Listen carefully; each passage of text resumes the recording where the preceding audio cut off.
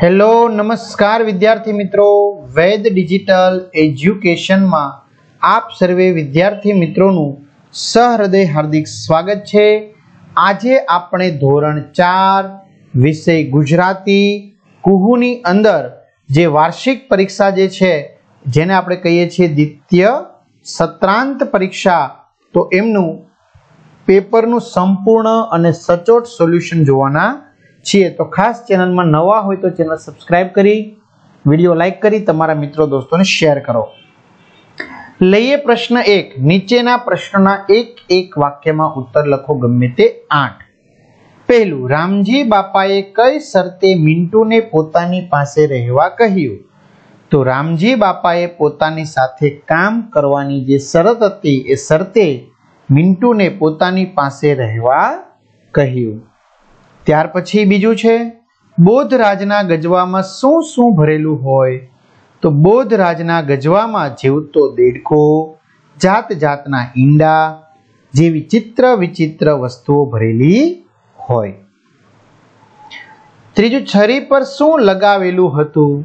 તો છરી પર કપાસના ઝીંડવાનો રસ લગાવેલો હતો.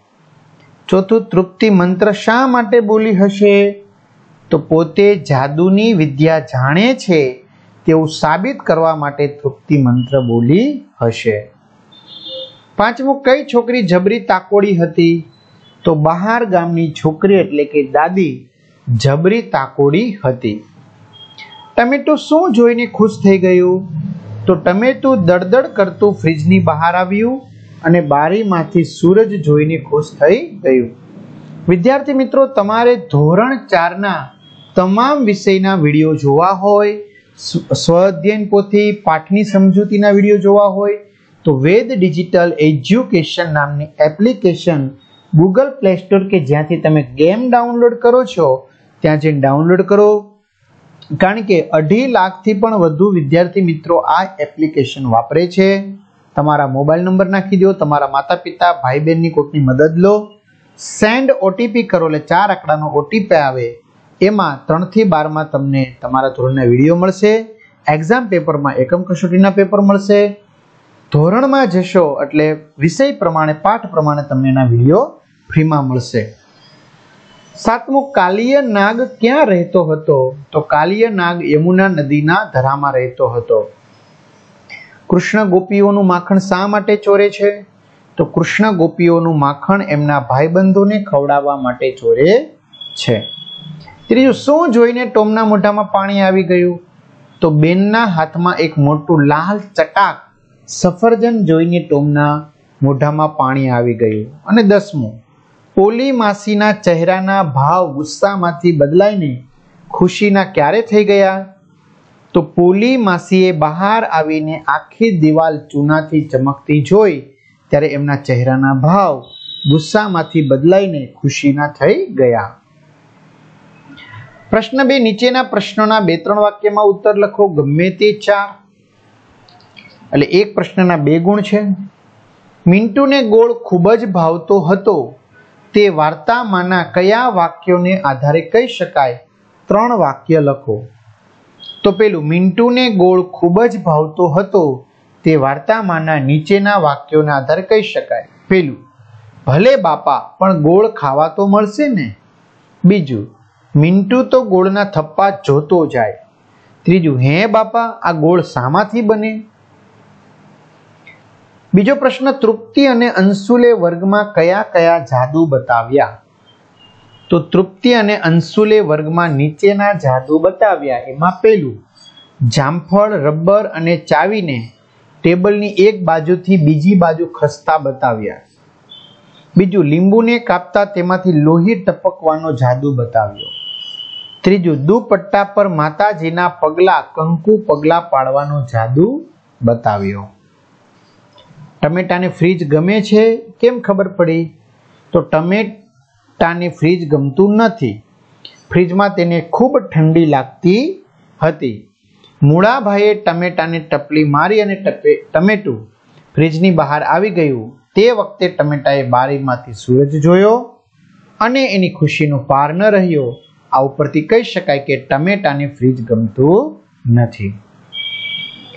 ચોથો પ્રશ્ન છે, વિદ્યાર્થી મિત્રો, ગોકુળ ગામના છોકરાઓ જંગલમાં ગાયો ચરતી હોય ત્યારે શું કરતા? તો જંગલમાં ગાયો ચરતી હોય ત્યારે ગોકુળ ગામના છોકરાઓ ભેગા બેસીને જાત જાતની વાતો કરતા, ઘરેથી લાવેલું ભાથું વહેંચીને ખાતા અને મજા કરતા. ક્યારેક યમુનાને કાંઠે જુદી જુદી રમતો પણ રમતા. કલાકારની જેમ ચૂનો લગાડવા માટે ટોમ શું કરતો હતો? તો કલાકારની જેમ ચૂનો, ટોમ લગાડવાનું ટોમ ચૂનો લગાડવાનું કામ કરતો હતો. થોડીક વાર થાય, બે ડગલા પાછળ ખસે, દિવાલ તરફ જુએ, થોડોક વિચાર કરે અને પાછો દિવાલ પર એકાદ બે લસરકા મારે. થોડીક વાર તેની તરફ ઝીણી નજરથી જોઈ રહે અને સ્મિત કરી સીટી વગાડે. પ્રશ્ન ત્રણ, નીચેના વિધાનોમાંથી ખરા વિધાનો સામે ખરાની નિશાની અને ખોટા વિધાનો સામે ચોકડીની નિશાની કરો. તો પ્રશ્ન છે બોધરાજ ભીષ્મના નવા ઘરે અવારનવાર જતો. તો એમાં જવાબ આવશે વિદ્યાર્થી મિત્રો ખરું. ત્યાર પછી આગળ વધીએ એમાં એમાં.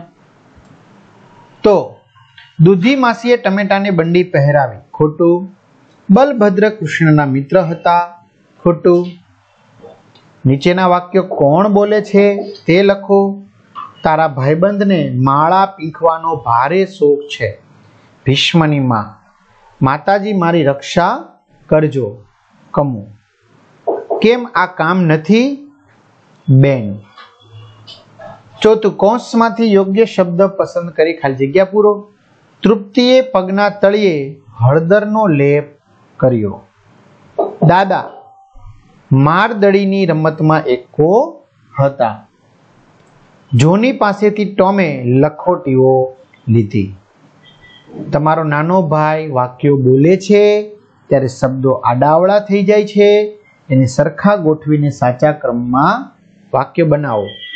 મમ્મીએ શીરો ભાવે મને મારી બહુ બનાવેલો છે. તો મને મારી મમ્મીએ બનાવેલો શીરો બહુ ભાવે છે.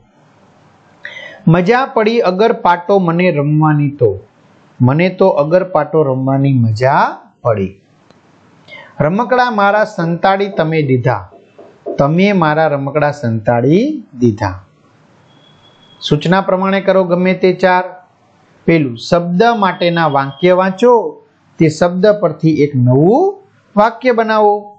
પેલું બિચારો એટલે કે સાવ નબળું, બાપડું, દયા ખાવા જેવું. ગાડી નીચે પગ આવી ગયો. બિચારું કૂતરું કોઈ ડોક્ટર બોલાવો. એ બિલાડી જરાય બિચારી નથી, એકદમ ખંધી છે.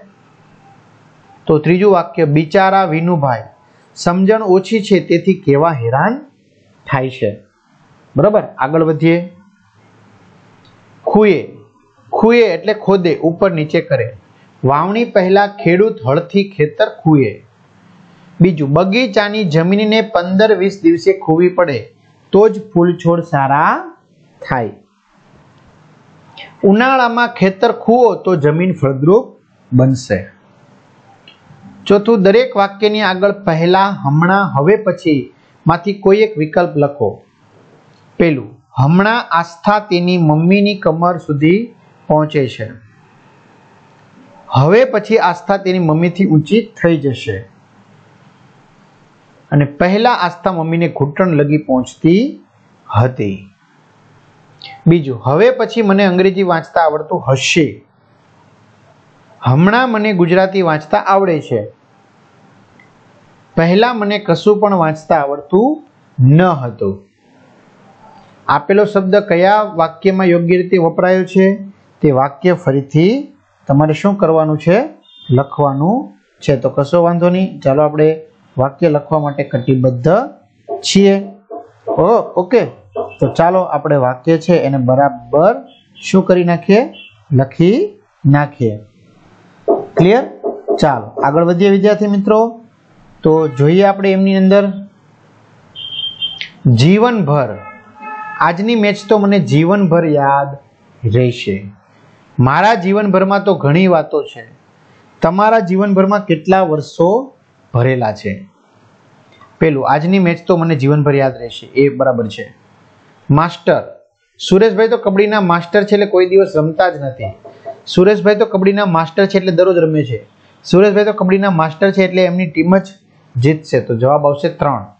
સુરેશભાઈ તો કબડ્ડીના માસ્ટર છે એટલે એમની ટીમ તો જીતશે જ. કૌંસમાં આપેલા શબ્દોની મદદથી વાક્ય પૂરા કરો. હજુ તો છોડ નાનો છે. એકાદ મહિના પછી એને ફૂલ આવશે. ગોવાળોએ આજે ગિલ્લી દંડો રમવાનું નક્કી કર્યું હતું, પણ પછી અગરપાટો રમ્યા. ભારપૂર્વક કહેવું હોય તો કેવી રીતે કહેવાય? એમાં ખરું તમારે શું દર્શાવવાનું છે? તો લેશન કરવા માટે, તો લેશન કરવાનું છે ને? લેશન કરી લેજે. લેશન તો તારે કરવું જ પડશે. તો ભારપૂર્વક કઈ રીતે કહેશો?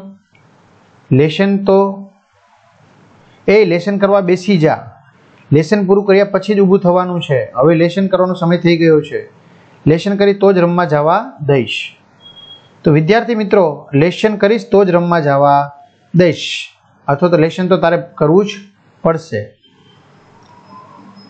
ચોકલેટ ના ખાવા માટે તમે શું કહેશો? તો જો ચોકલેટને અડ્યો છે તો પપ્પાને કહી દઈશ. ત્યાર પછી સાચી જોડણીવાળો શબ્દ શોધીને લખો ચીપીઓ આ રીતે લખાશે. શેરડી, આ રીતે લખાશે. ફરિયાદ, આ રીતે લખાશે. ત્યાર પછી પતંગિયું, આ રીતે દાંતરડું. ત્યારબાદ, આપેલા શબ્દ સમૂહ માટે છે કે એક એક વસ્તુ કે વ્યક્તિ માટે પાડેલા છે તે લખવાના છે. બરાબર? તો પુષ્પગુચ્છ ટ્રેન જુડો મયુર. તો શબ્દ સમૂહો, પુષ્પગુચ્છ જુડો. એક એક વસ્તુ ટ્રેન વ્યક્તિ માટે પાડેલા નામ મયુર. વાસણ માંજવાની રીત લખો. તો એઠા વાસણોમાં થોડુંક પાણી નાખી, બધું એઠવાડ કાઢી નાખો. એઠવાડ ચોટેલો ન રહે તે જુઓ.